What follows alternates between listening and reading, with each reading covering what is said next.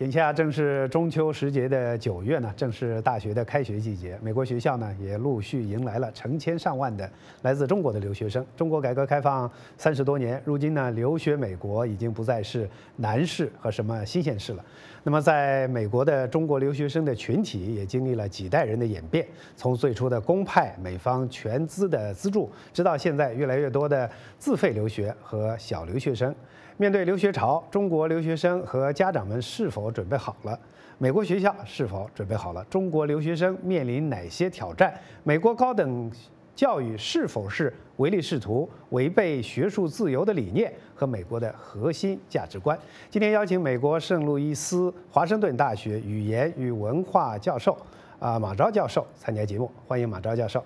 马昭你好。你好，哎，呃，美国社会和这个媒体啊，实际上对这个中国留学生啊，这个呃留学潮现在就是非常的关心。那么主要是对于，因为啊，中国学生的涌入，对于美国的教育啊，它既是一个机会，也是个挑战。那么您是在大学里边工作，那么在课堂内外，肯定和来自中国的留学生打交道很多。那你的体会是什么？呃，好，呃，首先感谢主持人有呃做这样一期节目啊。我想先给观众们提供一些数字，大概呢量化一下刚才主持人在导播的阶段中所说的这个留学潮的概念。那么其实这根据中国教育在线和教育优选的联合报告，呃，二零一四年呢中国出国留学人数呢总计是四十六万人。那么这也标志着呢近十年来呢中国的留学人数呢已经翻了两番。呃，再进一步说呢，二零一五年呢，中国留学生呢，实际上已经成为呃世界众多国家的第一大留学生呃这个主要来源国，其中你包括是美国、英国、呃德国、澳大利亚，呃好像我记得还有加拿大和日本，中国都是这些国家最大的留学生来源国。呃，另外呢，我们说刚才主持人的介绍中也提到了一个留学生本身的呃内部的这个这个演变。那么我们从二零一四到一一三到一四年度呢，也可以看到，呃，本科阶段的留学生呢，呃，大概是有十一万一千人左右，呃，研究生阶段留学生呢，大概有十一万五千人，两者基本持平，呃，这个呢和以前的呃以攻读高等学位为主的这个留学生和这个呃研究生、博士生呢，已经有很大的区别了。呃，那么这些大量的中国留学生呢涌入美国的高校呢，当然是有既有呃带来了一些机会，那也有很多的一些新的问题。那么从我目前从事工作的这个华盛顿大学呢，呃，我们可能看到的最明显的呢是中国留学生的涌入呢，在一定程度上挤压了这个亚裔和华裔学生的份额。呃，那么如果说从公立大学的扩招角度来看呢，那么我们从最近的这几年的呃这个新闻报道中也可以看到，像治安呐、人身安全方面的问题啊。这个以前都是没有的，那么现在也逐渐的成为一些很重要的问题，还有包括呢，怎么能够让中国留学生更好的融入课堂教学，呃，完成课后作业，杜绝考试作弊，这都给美国大学提供了一些新的一些课题。嗯，呃，接着刚才你提到的马教授刚提到的这个问题，就是说现在这个中国留学生的大量的涌入，那么中国大学留学生的涌入之后呢，就是说来挤压了，呃，挤压了。就是美国大学，特别是公立大学，就是对亚裔学生的这样的一个招生的这一个份额，因为美国很多公立大学，据我了解是是有这样的一个呃这样的一个像份额的。那么能不能多说说这这方面的一些问题？呃，当然可以啊。呃，当然我现在目前呢还没有一个确切统计数字来给大家分享。但是呢，我们说就像刚才主持人提到的，呃，大学呢，美国大学呢一般都要强调这个种族多元化。也就是说呢，不可能呃一个种族的学生呢呃占据太多的名额。那么我们可以想象嘛，在美国呢，一般的包括白人学生、黑人学生啊、拉丁裔学生，和美国这个呃这个这个这个土著的学生，还包括其他留学生、亚裔学生等等，他有他就是大概这样几个比较大的这个呃学生的呃这个来源份额。所以呢，当从中国来的学生呃大陆招的学生多的时候呢，那势必呢就影响了亚裔学生整个的比例。那么我们说，呢你挤压谁呢？谁也不好挤压。所以在有种某种程度上讲。呢，呃，那么来自美国本土的亚裔学生，特别是华裔学生，在这一方面呢，就要和中国大陆学生呢共同分享着同样的一个对，所以我我刚才问你的就是这个问题，就是说美国本土的这样的亚裔学生或华裔学生，那么有没有意识到这一个问题？因为这个问题对呃中国来的留学生之间产生隔阂，或者产生什么样的这样的矛盾？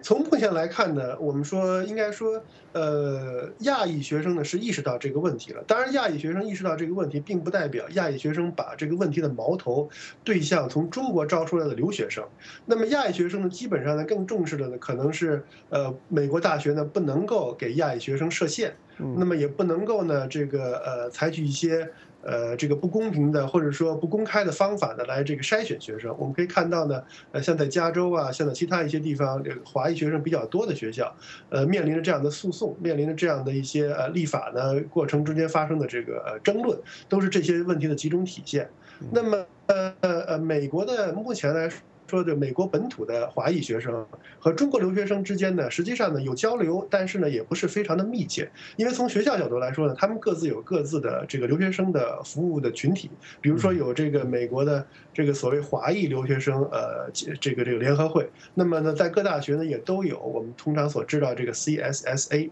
就是中国留学生中国留学生和留和学者呃联谊会，这是两个不一样的组织，那么也照顾呢不一样的这个留学生人群。嗯，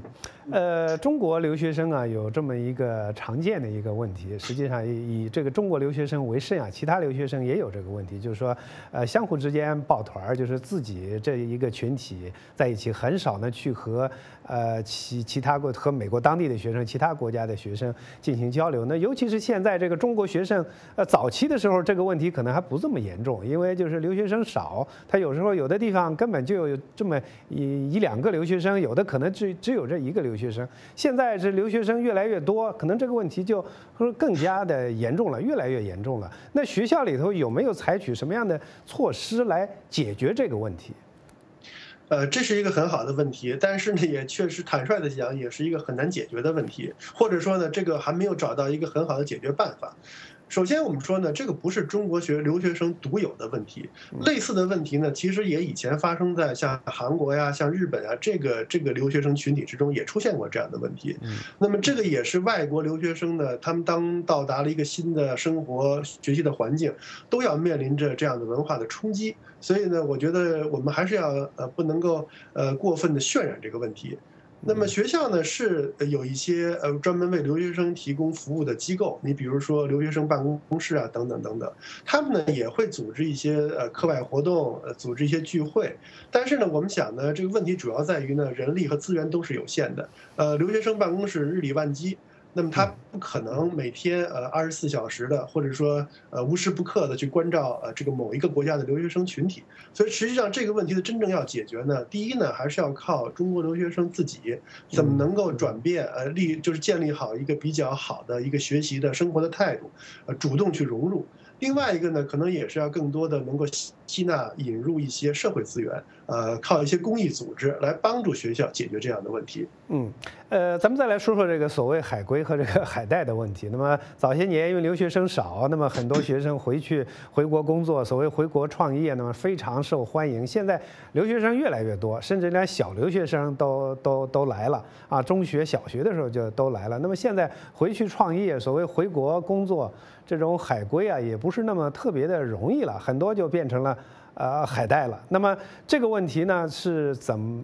两国政府？因为在这个留学生的交流这个问题上，呃，美国和中国啊，是是美国和中国这个战略与经济对话的这样的一个层面之一，对不对？人文交流，互派多少留学生？那么两国政府或者是学校有没有采取什么样的措施来解决这个问题？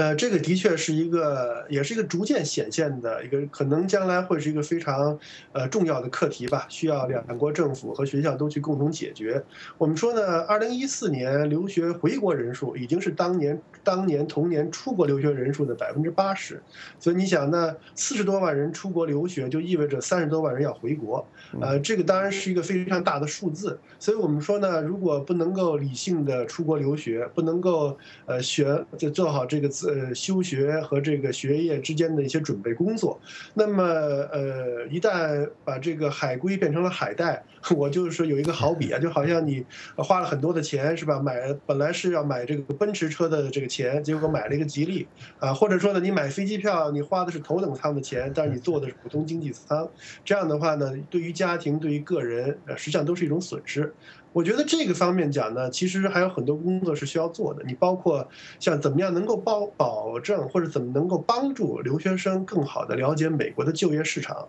呃，就像我们现在说，留学生中可能十个里头有五个学经济的，对吧？嗯。这个实际上就不是一种非常理性的呃专业选择，或者说呢，这也不是一场一种非常清醒的对美国市场的认识。美国就业市场实际上是很大的，呃，相比尤其相比于这个欧洲啊或者澳洲的就业市场，那么有些专专业，你你比如说药学专业，像这样的专业是吧？它实际上都是很好就业的。那么我们能不能够通过一些什么样的方式，由学校的就业部门啊，能够给学生提供很好的就业指导，而且是在第一时间，你刚入学的时候，就要有一些呃相应的措施来帮助学生来理解，这样呢可能将来也会有一些好处。呃，马教授，我们还有几一两分钟的时间啊，我就是我很快的还想加一个呃这样的一个问题，就是昨天我和一位呃。呃，客人在这个演播室在讨论这个美国学生现在也都是美国也在重视这个文科，而不是理科，大家都想去学这个 STEM，啊，就是理工科，而这个文科的没有人学。那么现在中国学生，我相信肯定到美国来都是大多数大多数人都是奔着理科来的，是不是这样？那么这对。嗯嗯啊，请说。嗯，那么就就是说，那现在这这种怎么来解决这个问题？就是说，招生的这个份额啊、名额啊，这不同的就是文科和理科。呃，这个实际上招生的时候并没有做出这个文科和理科的这个划分，主要呢还是根据学生的一个综合水平的评定来确定入学的呃条件和入学的标准。那么